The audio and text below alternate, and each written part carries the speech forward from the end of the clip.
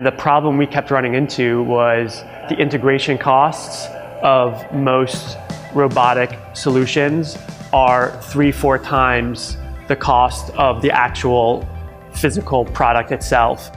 So we needed to add capacity to our shop. Uh, one of one of the options in adding capacity would be to add another machine, and then another option would be to add robotics to be able to do unattended machining.